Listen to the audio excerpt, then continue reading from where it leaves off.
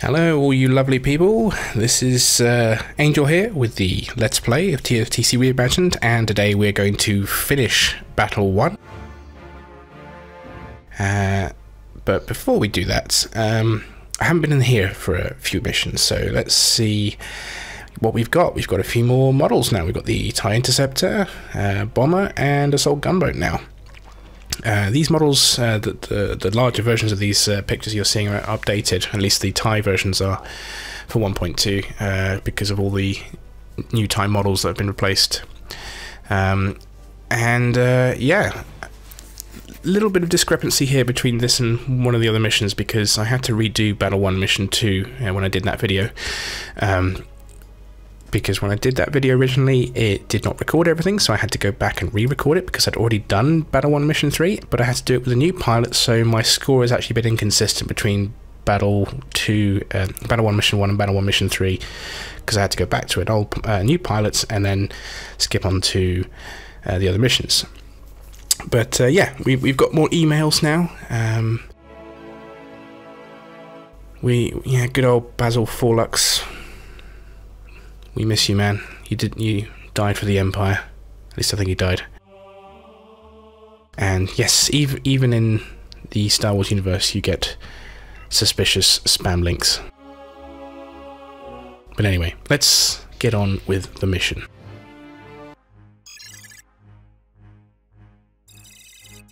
So I want to talk about these um, these animations you see just before the briefing plays, um, this was a very late addition to TFTC, like we're talking a few weeks before release of 1.0. Um, I asked Jeremy if it was actually possible to basically have a unique intro uh, cutscene intro per mission because all you had was the stock um, animation cutscene uh, where you go into your briefing. And we couldn't use that because that was the rebel briefing. So I needed I needed something, and there was uh, the original TFTC uh, cutscene, which basically showed something similar to what you're seeing. Uh, just showed a Tie Fighter rolling around with some uh, Aurebesh text and uh, like a wireframe, and so I took inspiration from that. But I, I couldn't use that because I didn't have the permission of the original uh, author of that video to do that. Once a large enough. So I had to sit down and think about creating a new one. Now, I am not by any means a professional animator or Photoshop artist. In fact, I didn't really know how to do much Photoshop or anything like that at all until the start of this year, which is, well, I say this year, 2021, start of 2021. Be prepared. Um, but TFTC kind of forced me to learn um, although there are people in the community who can who can definitely do this stuff better than I can, um, we're all busy, and I, I, like to be able to do stuff myself if I can. Um, and so I, I, made the effort to learn. However, in a last-ditch effort, I already mentioned in the very first Let's Play video during the intro that I'd made the TIE Fighter logo animation. That took me a week, and that was the first bit of animation work I ever made. But these, this, this was something new. This was something different. So I took a screenshot of the original uh, briefing room. Well, not the briefing room. The, the sort of the battle selection room in Tie Fighter. So you have your officer there. The the two sort of uh, white um, dots where the holographic interface is coming from is where you would select your battles. Large enough to begin the fight. This serves the purpose of basically allowing us to have this little old screen from the original TIE Fighter just to make it feel a bit more authentic. And Omega we'll jump in. But uh, yeah, I, I had to spend a few days tweaking and tinkering and finding out how to do certain things and to figure out how I wanted this guy. I knew I wanted to base it off the original animation that I mentioned, but I wanted it to be based on each mission. Um, so it was unique to the mission. Uh, so Jeremy uh, managed to make a hook that basically allows us to say what cutscene you're going to use when the mission starts. And so, yeah, uh, that that's what I eventually came up with it. And I've made 125 of those little animations. I, I, made a template, and then it's basically a case of just swapping out uh, certain files and uh, mostly the ship file stuff, and then all the text. But everything else is the same. Um, making the holographic interface. Uh, just so one second. It's very cool seeing all these assault gunboats. Uh, again, Imperial might. We're going to stomp on these guys this time. But anyway, back to the animation stuff.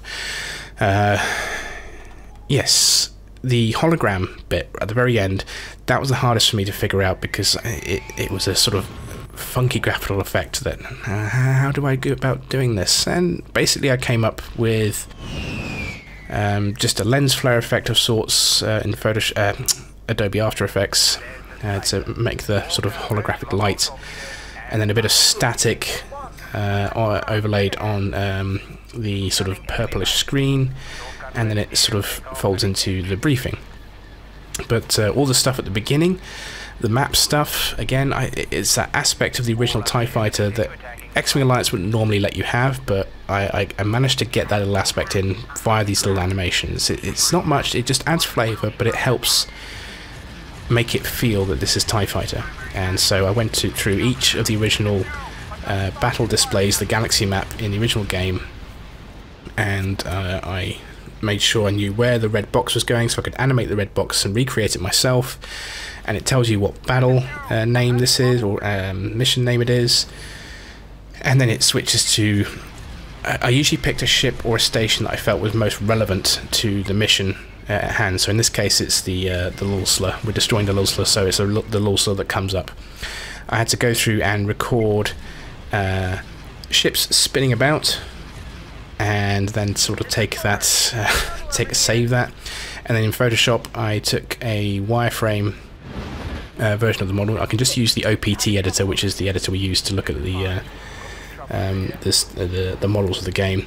You can put a wireframe version on, and I just took screenshots of that, put a green overlay on it, and then just sort of manually added um, sort of uh, uh, what's the word diagrams, if you will, schematics. That's the one of of the ship and their technical readouts. And all the Aurebesh text is legitimate text. I typed out, basically, starts off with a description of the ship, and then the second page is basically the statistics of the ship. So, you know, armaments, crew, speed, shields, all that sort of stuff.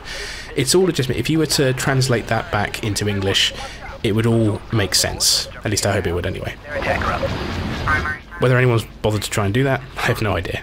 I don't know if that's uh, something anyone would be interested in doing. I've got a starship on me. This is four. So yeah, that's the animations. And I realise I've just spent five minutes talking about the animations and not this mission at all. Uh, so, so let's do that quickly. Um, we've already quickly jumped in and stomped on the slicer. I really wanted to do that. Like I said, Imperial Might, we're coming in, and the slicer is there to kind of act as a buffer, but against, what is it, 24 gunboats, um, yeah, it's just absolutely stomped upon. You just come in and crush it, and it's great to, to see that.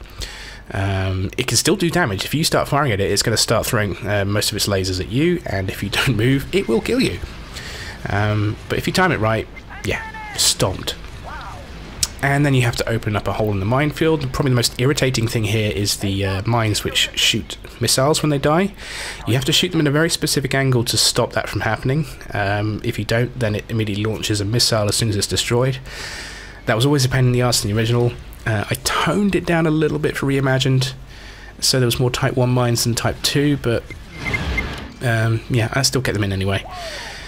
And then you're just basically dealing with the, the remaining rebel fighters and uh, going to town. The only other potential danger which I added for 1.2 there's a wave of X-wings which come in and attack the assault transports, but because there's so many of them, it's they, they, did no essentially no damage to them. They were quickly wiped out. So I massively increased the number of reinforcing X-wings that came in to attack the assault transports, and some of them will go down now. So yeah, and it, it just it makes the fight feel a bit more difficult. But otherwise, this is a much easier mission compared to certainly I think the original. And you can see the Lulsla's already destroyed, lovely debris field. Still got to capture the commander. And e even with these lovely new Lambda models, it still feels rather difficult to hit these things. Weird hitboxes.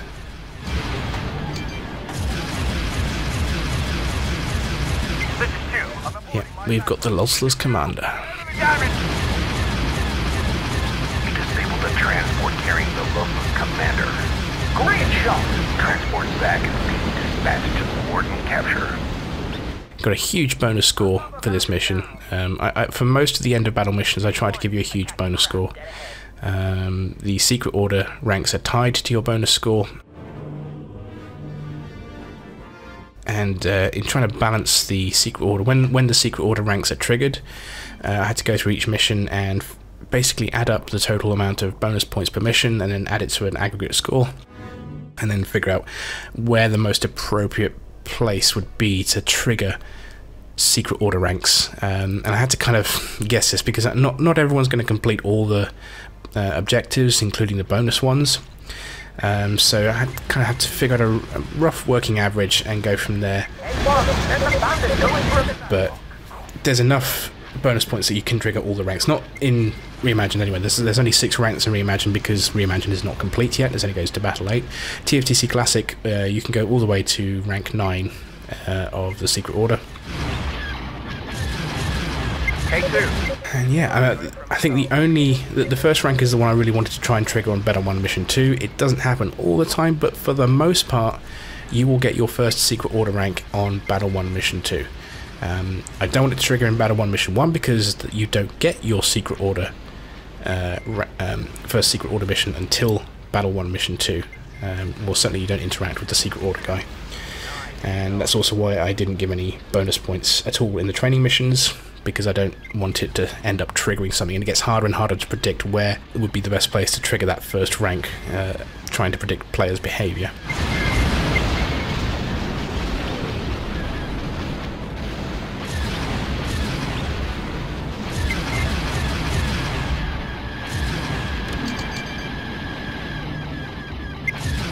So, just mopping things up here.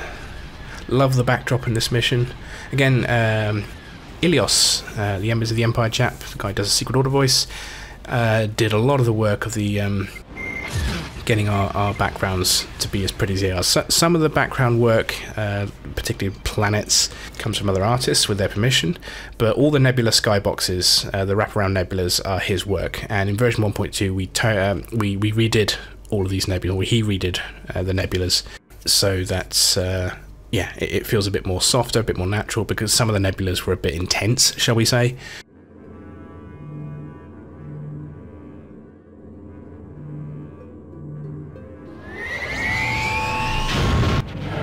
I think Battle 3 was a particular notorious uh, intense uh, nebula. Rebel have been.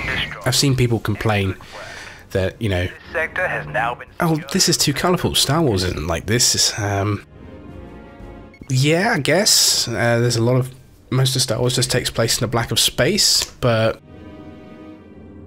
The thing is, there's a gameplay um, thing in here about as well that it's harder to see ships against the black of space. From a gameplay point of view, if you have something in the backdrop, it's easier to see the silhouette of a ship. Um, and so it's it's a it's it's a fine balance. I tried to make sure that at least forty or fifty percent of all the missions, in, certainly in classic, uh, take place on a black starfield rather than a nebula. So you know, trying to shift things up. But I think the that personally, I think the nebula adds to uh, the atmosphere of a mission. But anyway, there we go. Second secret order rank. We are advancing in the eyes of the Emperor. And our first mission cutscene. It would be really nice if we could remake all these cutscenes. I mean, Ota King is remaking the intro for us, but uh, uh, I'm not exactly holding out hope that we'll, he'll remake all the cutscenes. And considering the amount of time it's taken just to redo the intro cutscene, it would be years uh, before these could be remade. Um, the only thing we did do was remaster the music. Uh, James Lawney Stringer, or James Stringer, known as Lawney on Get Off My Lawn channel, you should check it out. Um, remastered all the music on this um, so that they, they sound consistent with the rest of the music. And just one thing I want to point out: these two characters. I know that's Mon Mothma there. It's just my in my head. I always thought they looked a bit like Kirk and Spock. Maybe it's just me. I've never been able to get out of my head that those two uh, guys in the cloaks there looked a bit like Kirk and Scott. And I say guys because one of them I think is Mon Mothma, not a guy. So, but there we go. Our first medal.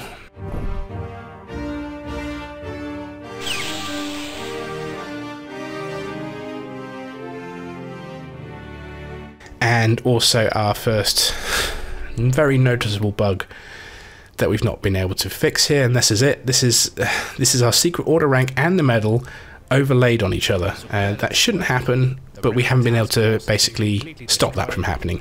The reason that happens is because we were awarded both things at the same time. Um, it's annoying, but you know, there you go. Has now finally But yeah. Battle 1 is complete. Successfully D34 is secured, Javin sector is safe, and we killed a lot of things. Uh, but let's let's take a look at the private room again before we uh, wrap this up. Um, got promoted, sub lieutenant now, and let's take a look at the medal case. And there we go. There's our medal of redemption. There's our tattoo, all looking marvelous. And any more emails? Ah, just one.